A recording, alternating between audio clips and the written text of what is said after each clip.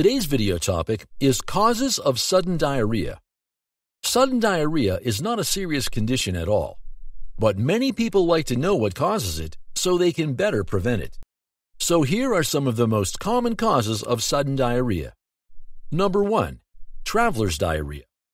Traveler's diarrhea is the most common cause of sudden diarrhea.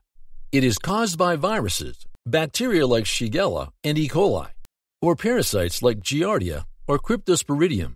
These bacteria and parasites can be picked up from contaminated food or water. The symptoms of diarrhea will typically last for a few days. The best way to prevent traveler's diarrhea is to practice safe food and water precautions when you travel. Number 2. Viral gastroenteritis.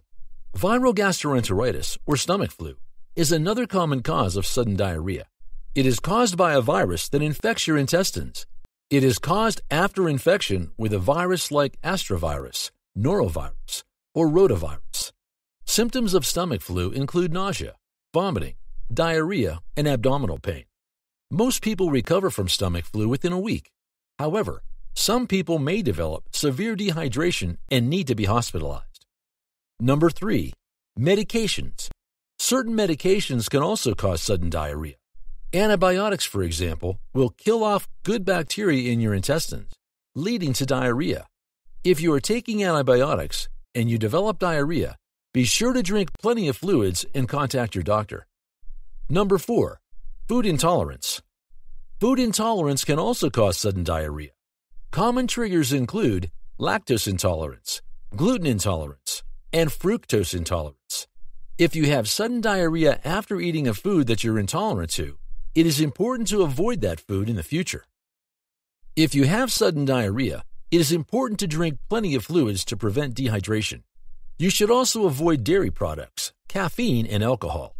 If your diarrhea lasts more than four weeks, then it is considered a chronic diarrhea, which could be a symptom of many underlying conditions, including the irritable bowel syndrome, IBS, which is a chronic condition that affects the large intestine. It is characterized by abdominal pain, cramping, bloating, gas, diarrhea, and constipation.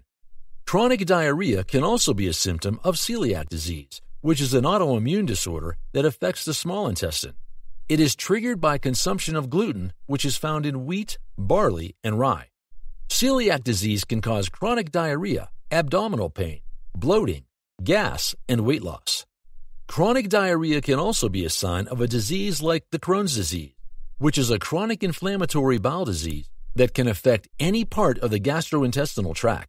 It is characterized by abdominal pain, cramping, diarrhea, and weight loss. So, if you have chronic diarrhea that lasts for four weeks or more, it is very important to see your doctor so that the cause can be determined and treated properly. The treatment plan will vary depending on the underlying cause. Thank you for watching our video. Please do not forget to like and share the video. Also, please subscribe to the channel to stay updated on our latest videos.